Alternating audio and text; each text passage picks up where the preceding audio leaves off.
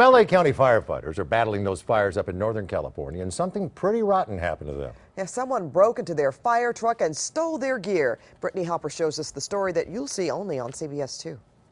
Jillian Bouchard is a mother to a newborn baby and a wife to a local firefighter. Her husband was called for duty on Friday, having to leave his family to go help fight the Butte fire in Northern California.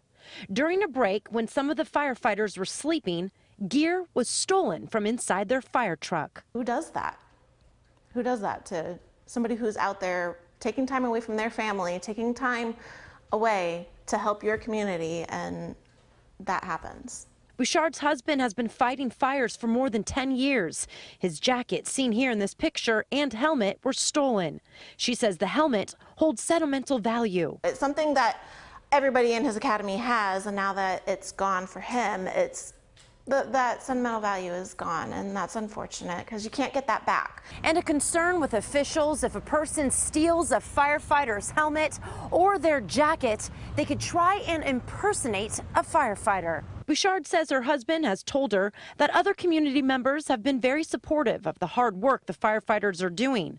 She's hopeful either the gear will be found or at least someone will think twice before stealing from a firefighter whose job is to save lives and property.